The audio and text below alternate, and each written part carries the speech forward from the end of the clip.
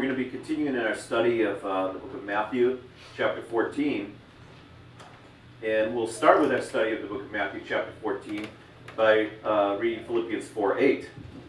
Finally, brothers and sisters, whatever is true, whatever is noble, listen to this. Finally, brothers, listen, whatever is true, whatever is noble, whatever is right, whatever is pure, whatever is lovely, whatever is admirable, if anything is excellent or praiseworthy, think about such things.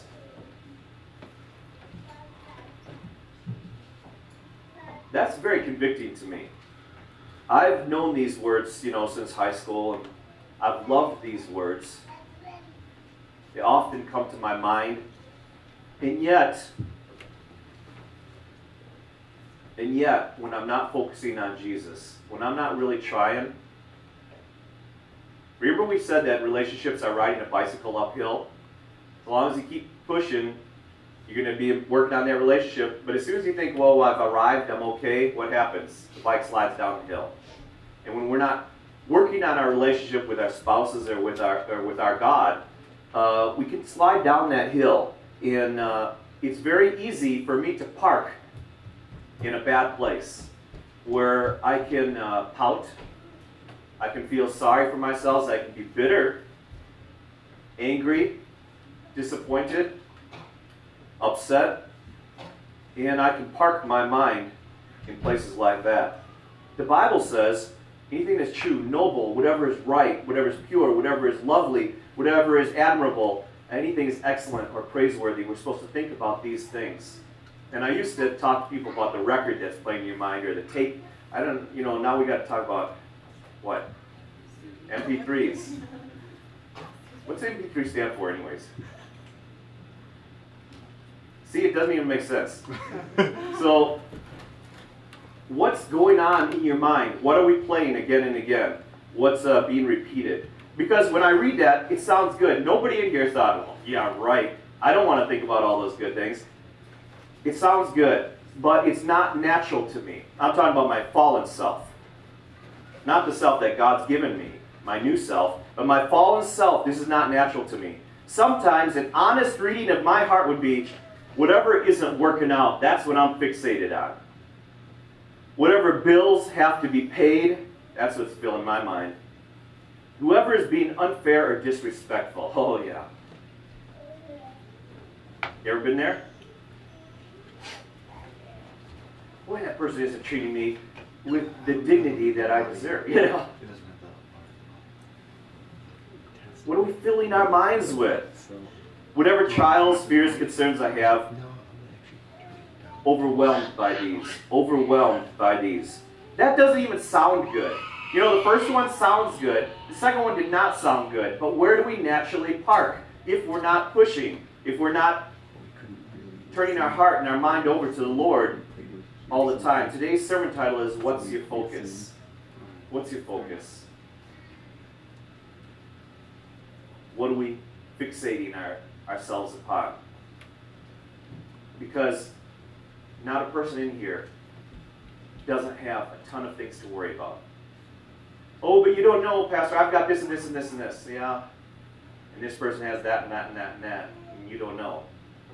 And this person back there, you don't know, but they've got this and this and this and this. We've all got things to think about and worry about and be concerned about. In this life, when are we going to put Christ in the middle? Well, when my life gets together and I don't have so many problems. Oh, well, how long are you to wait? How long have you been waiting?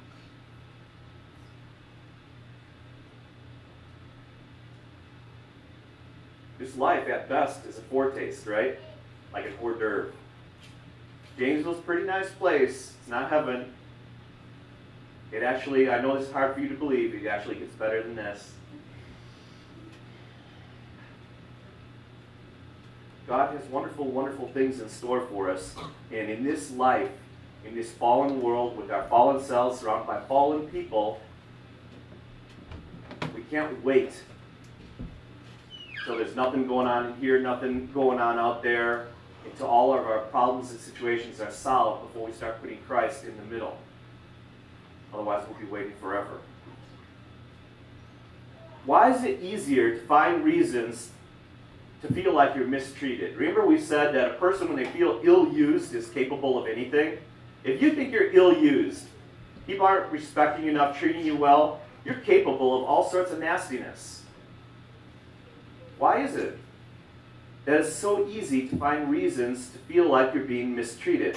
Why is it easy to make a list of things that you don't like in other people? Well, I don't like when they do this. Okay. And I don't like when they do that. Okay. You know, God sees that too. And He probably doesn't like your attitude right now. Well, what about them? What? Do you trust God to deal with them? I mean, either they're not saved and they're going to go to hell, which in case God dealt with them, or they have the Holy Spirit of God. They're His servant. Who are you to judge another man's servant? And guess what? He says they're going to stand. They're going to be okay.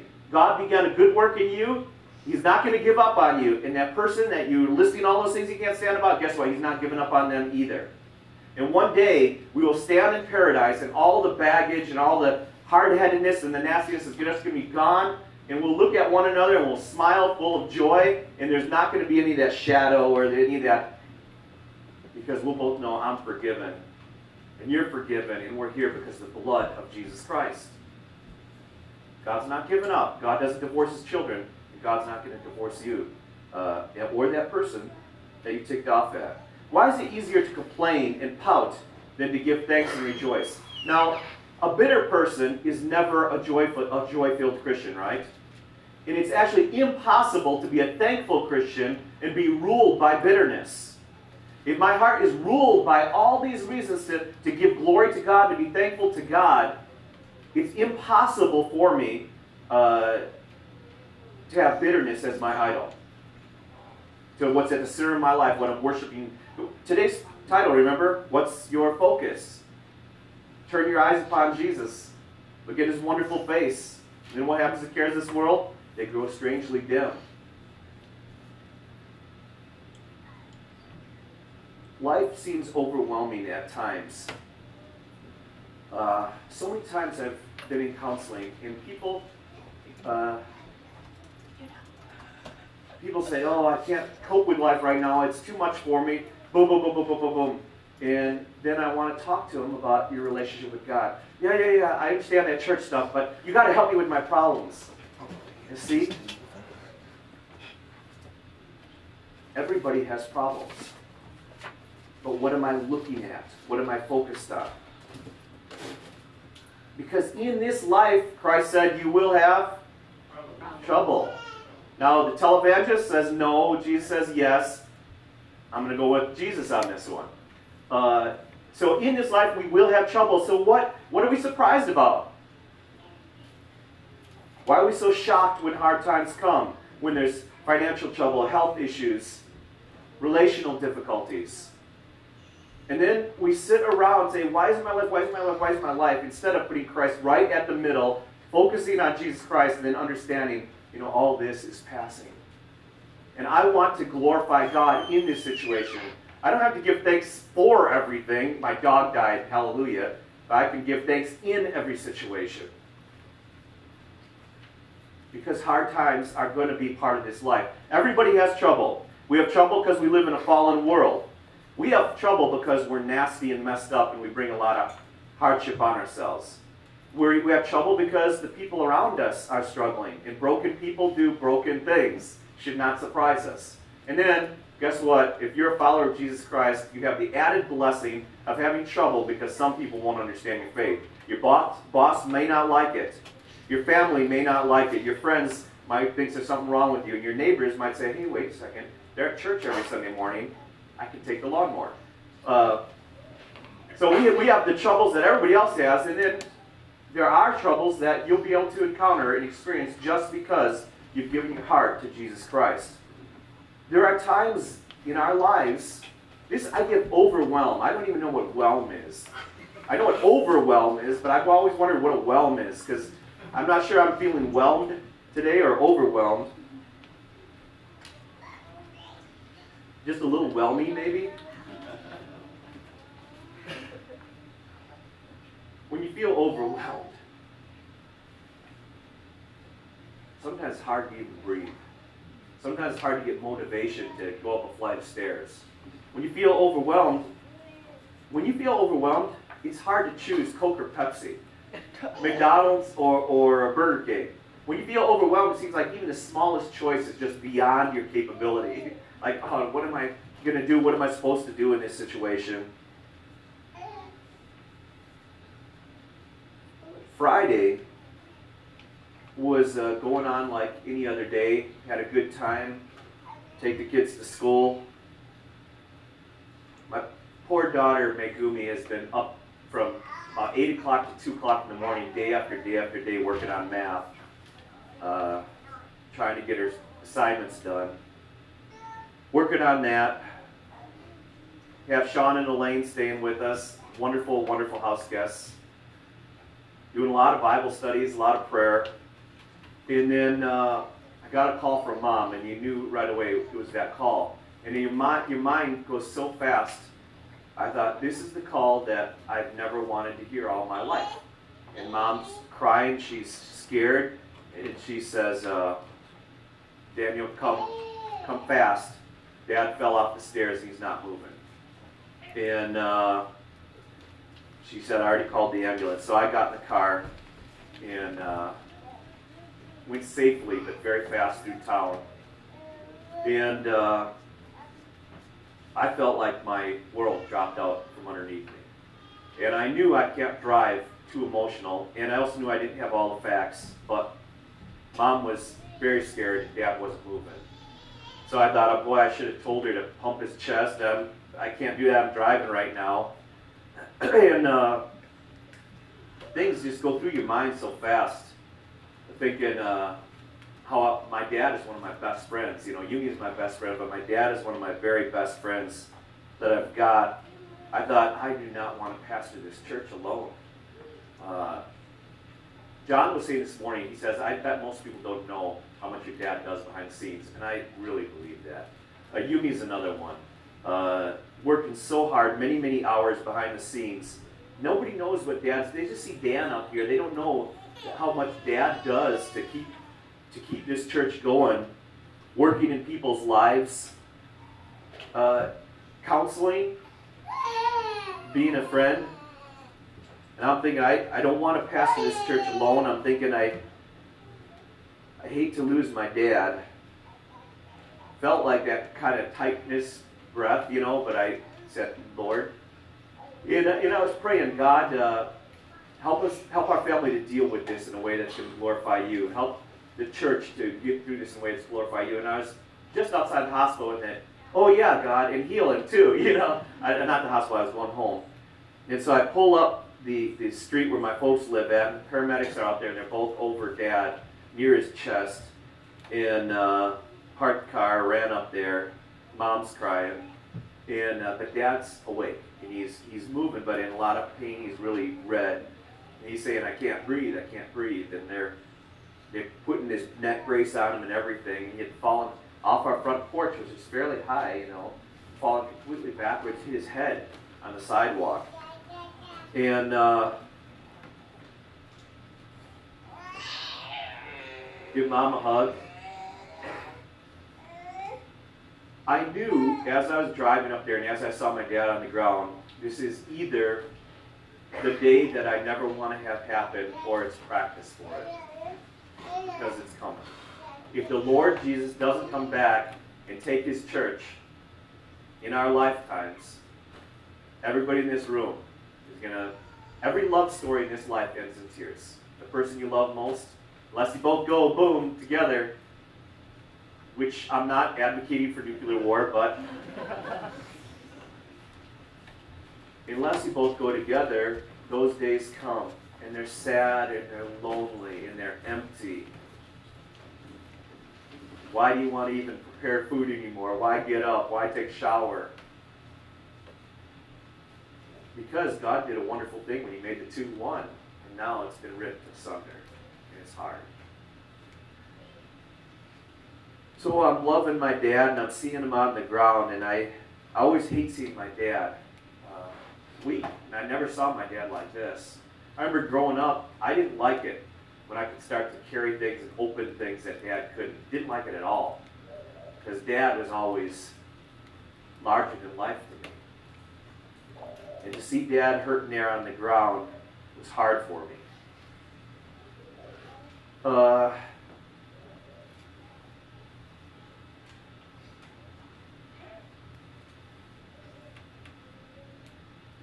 we uh, got Dad to the hospital and uh, they did a bunch of tests. And Dad's fallen three times just in the last couple months. Downstairs, inside, off the back porch. And both those times he got bruises and, and scrapes. This time he, he did it. He got five broken ribs and uh, partially deflated lung. Uh, but I'd like him to find out why Dad's fallen. But uh, I tried to say the right things. Dad had a, you know, you want to say something comforting and wise. So Dad was trying to give away some some uh, tickets to a fair, uh, to a to a show, Oliver. To in we could go because we had the girls' Bible club mini at our house. He gave it to Dad, so I said, Dad, I want some of your stuff too. But uh, which made him laugh, which made his chest hurt more. Uh, but then Dad was talking, and we were talking about the children's fair, and he said, uh, "I'm supposed to go help out at the children's fair." but now I get to watch the Badger game. And Dad said, the Lord works in these ways. and so I came back to Dad the next day, and I said, Dad, that was a brilliant plan. Except the game doesn't start till 9.30 at night. I said, you did this, and you wasted it. You didn't even have to do it.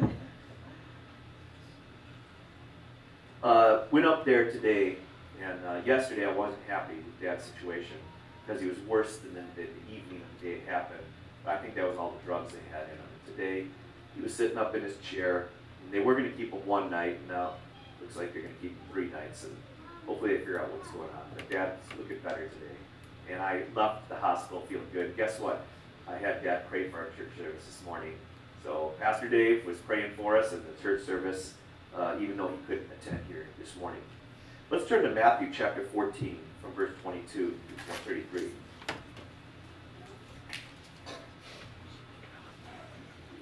Did you notice? I didn't have, when I was driving that car, I didn't have to do something legalistic like, oh, I have to pray. I need to get in my daily prayer time. When Christ is the center of our lives, it's very natural to turn to Him. It's very natural to turn to Him. I didn't have to tell myself to pray. I just prayed my whole way over there. And uh, while I'm talking with Dad, while I'm preaching to you guys, uh, praying. Praying all the time. Okay, chapter 14 from verse 22. Immediately, Jesus made the disciples, so this is immediately after he feeds the 5,000, he had that message. Uh, Immediately, Jesus made the disciples get in the boat and go ahead of him to the other side while he dismissed the crowd. After he had dismissed them, he went up on a mountainside by himself to pray. Now remember, remember John the Baptist got his head cut off because that gal was doing a little dance routine? So he got his head cut off, and Jesus wanted to go in a, into a solitary place to pray, but all the crowds followed him. And he had such a heart of compassion, he didn't say, Come on, people, I need some private time right now. Instead, uh, he went out and tried to bless and love people, uh, even while he was uh, going through a difficulty of losing uh, John the Baptist. And so now he sent the people away. He sent the disciples across the uh, Sea of Galilee, which is not a big sea, by the way. And he goes up on a mountainside by himself to pray. He wants to get alone so he can spend time with his Heavenly Father. And remember, we have the God, Father, the Son, and the Holy Spirit. So people say, uh, why does Jesus pray to God if he's God? Not understanding that what is prayer? Prayer is not magic and it's not hocus pocus. Prayer is when we talk to our loving Heavenly Father. He loves us, He wants to hear from us. In the Trinity, they have this eternal love relationship. The Father is seen as saying, This is my beloved Son. You know, uh, listen to Him. Uh, when Jesus talks to God, when God talks to Jesus, you can call it prayer if you want but it's within the Trinity, this communication, this love uh, communication going on, and we are invited into that. We are given the right to enter this relationship with God. That's what we're created for, to commune with God and to pray. So we need to stop thinking of prayer as some burdensome thing that we have to do and start realizing what a wonderful thing we're invited into the intimacy of the Trinity. We get to share in this love relationship. We get to talk with God the Father. What a beautiful and wonderful thing. And uh, what a joy to know that we can always turn to God no matter what we're going through. So Jesus gets alone on the mountainside to pray. When evening came, so he's up on the mountain, you can probably see the disciples out on the boat. When evening came, he was alone. But the boat was already a considerable distance from land, buffeted by waves, because the wind was against it. Shortly before dawn, so the boat's been out there all night. This is a small, we call it Sea of Galilee, it's like a lake. They should have been across a long time ago. And if they couldn't make it across, they should have turned around and come back. They couldn't go either way.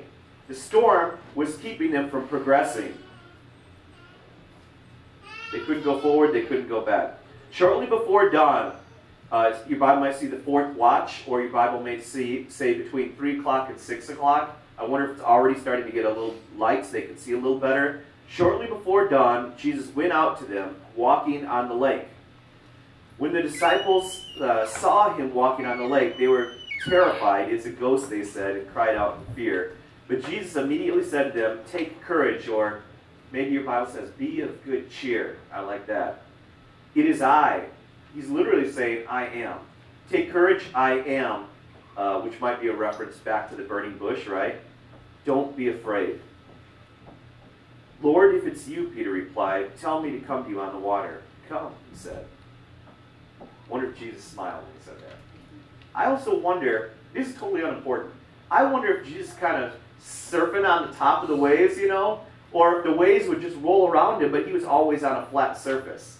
But see, you're in this boat and it's rocking to the point where you can't make progress. And Peter's there. And he says, I want to get out.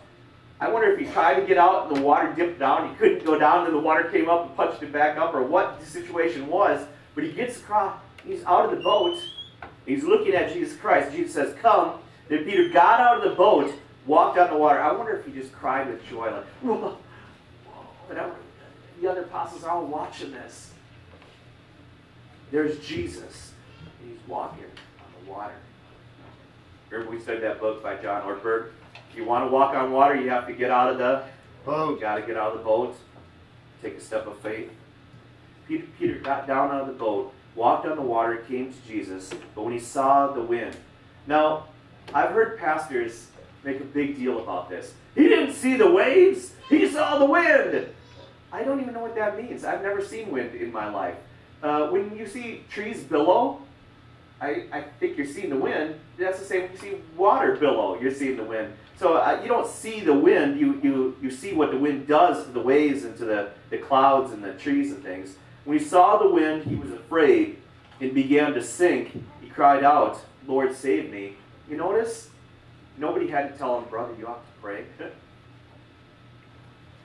he knew Jesus was the one to talk to. And he instinctively said, Lord, save me. This was a lot of times we focus on the fact that he was sinking. We're going to get to that. I think it's beautiful. In uh, J. Vernon McGee said, if this was a pastor who fell in the water, he would have said, Thou omnipotent God, who art Lord of heaven and earth, please in thy goodness condescend to reach down and pick me. You know, he didn't have to go through all that big spiritual language. He just said, Lord, save me. And that's beautiful. And when you find yourself at the end of your rope, and you're being overwhelmed, and the sea is buffeting into you, life is hard. Maybe you're just so fed up with yourself. Why am I such an ornery person? Why am I so difficult? Why, why, why, why? And we just reach out and say, God, you've got to save me because I don't have any hope here, and I'm not going to be able to save myself. Remember those old uh, Looney Tunes cartoons? You'd, you'd, you'd, run off the cliff and you'd fall down, and you'd go in the water. You know what they would do? They're in the water, they grab their own hair, and they pull themselves up out of the water. We can't do that because of sin. We'll drown. And there's no way we can pull ourselves out. We need somebody who's not in the mess we're in. We need somebody who can walk on that water, who's not overwhelmed by life who can reach down and he says, Lord, save me. And he reaches down, he grabs us, and he pulls us right out of the water. Brothers and sisters, when life is hard, when you're scared, when you're driving that hospital, It's a time to start talking to God. And don't make your prayer beautiful and flowery. Talk from your heart to His heart. Be real. We've got a real God. Why cover Him and make Him fuzzy with all the fluff? Peter got out of the boat, walked in the water, and came towards Jesus. But when he saw the wind, he was afraid. When he saw the storm, he started to sink. He cried out, Lord, save me. Immediately, Jesus reached out his hand. Immediately, Jesus reached out his hand and caught him. You have little faith, he said. Why did you doubt? And when they, climbed, when they climbed into the boat, the wind died down. When those who were in the boat, then those who were in the boat worshipped him, saying, Truly you are the Son of God. Uh, we've said this many times. Did you ever have a favorite teacher in school? Or maybe a coach, track coach, or football coach, tennis instructor? it's okay to really like a good teacher, somebody who's really invested in your life. In fact, I would say go back and tell them that they made a difference in your life. I just did that with a teacher recently. Do not fall on your knees and worship your good math teacher. This is only acceptable if this is the living God standing before you. You don't worship anybody but the living God. When they crossed over the land, they were at Gennesaret, and then the men of that place recognized Jesus. They sent word to all the surrounding country. People were brought there sick to him and begged him to let uh, the sick just touch the edge of his cloak, and those who touched him were healed. And so Jesus is right back in the biggest things. He had time to pray, get along with God, and now he's right back into to blessing people. Have you ever noticed uh, when we read the Gospels that sometimes the apostles don't come off looking so good? Isn't that funny? He said the mighty men of God, the apostles, filled with doubt. The apostles saying, Oh, it's a ghost. The apostles saying, Oh, now we get it. You're in command of the wind. You're God. It may be that was also echoing back to Genesis again, when he calms the storm. We see that when the Spirit of God was over the uh, surface of the earth, place the waters. You can go here, you can go no further. God is controlling nature. Right here again, we see God is controlling nature. Jesus is, is God. But who wrote the book of Matthew? Difficult, difficult. Who wrote the book of Matthew? Matthew. So who is being honest about their struggles and their lack of faith? It's the apostles themselves, and that's really neat.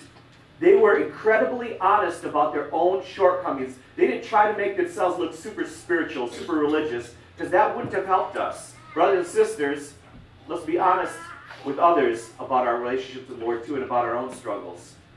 Because if we pretend to be something we're not, then people who are honestly struggling are going to think, boy, I could never get together like so and so, like this person. They were honest about their struggles and their journey of faith. They were humble. They didn't believe. Jesus said, You have little faith. I'm thinking if I wrote that story, I wouldn't want to tell the entire world for generations to come, a billion people perhaps, to read that I had little faith. Jesus, can we just skip that part when we're writing this down? How about, how about I'll just put in, and Jesus said, Boy, you guys are awesome. Write that in there instead.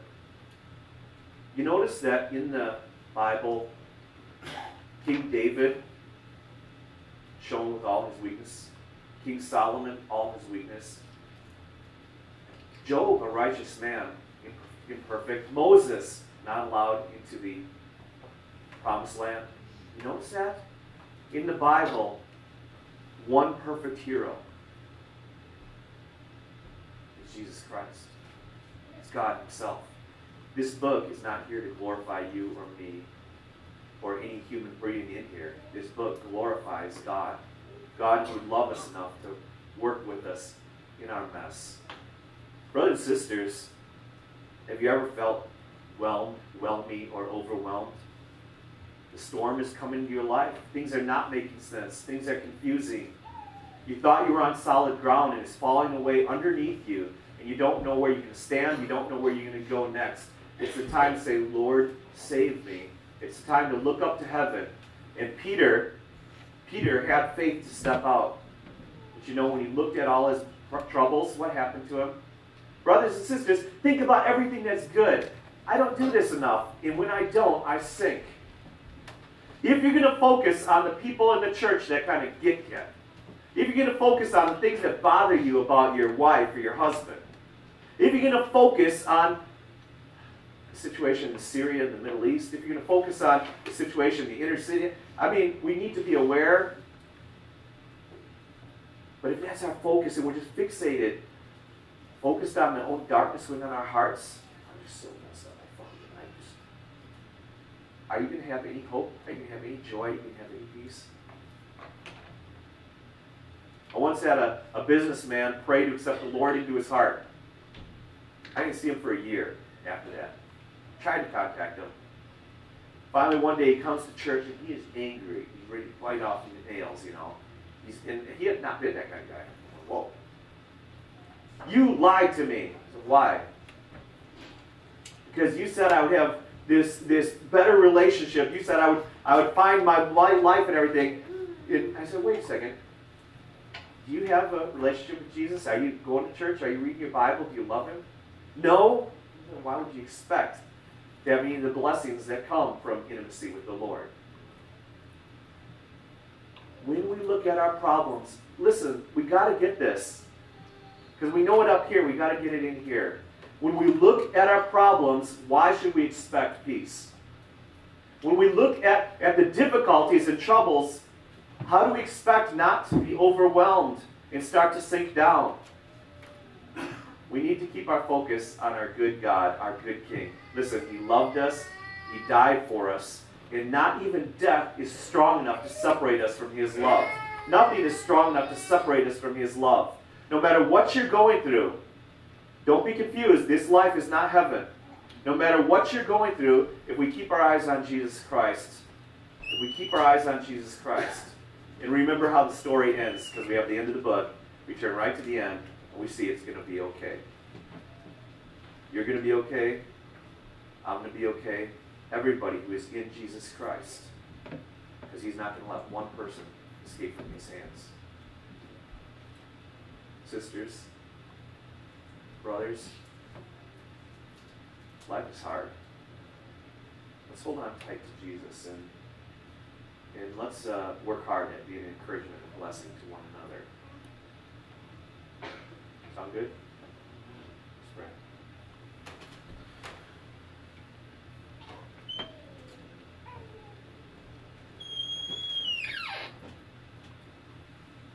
Lord God, we want to look at your Son. And we don't want to be filled with dark thoughts about other people. We don't want to fixate on our own sin. You died for that sin. You took care of it, and it's a lack of faith, Lord, for us to wallow in it. And Lord, we know that this world is a world of tears and death. There's no hope here. If there was, you wouldn't have come. You wouldn't, we wouldn't have that cross. Lord, you are our hope. You are our strength. You are our strong fortress. You are everything we need. You are life. You are love. And Father, we want to we want to be enveloped and wrapped in your grace and your love. Father, I pray for everybody in this room. Pray for my dad, you, me at home, all the others who couldn't come this morning, Lord. Help us to truly believe that you love us. Help us to truly believe that your ways are so much higher and better than our miserable, ornery, self righteous, hard headed, greedy, lustful ways, Lord. You're beautiful in everything you do, Lord. And we don't want to look at the storm. We don't want to look at the darkness. We want to see you. Help us, Lord, to walk with you, whether we're walking through deserts or walking on water, Lord. Thank you for not giving up on us. Thank you for this church. Thank you for this opportunity to speak with you, sing to you, and study your word. We pray this in the name of your Son, Jesus Christ, who died for us and then rose again. Amen. Thank you for watching. Foundation TV is a ministry of Foundation Bible Church. For the rest of this message and other full messages, find us online at foundationbiblechurch.com. Foundation Bible Church, inconveniently located two blocks northwest of the Janesville Athletic Club.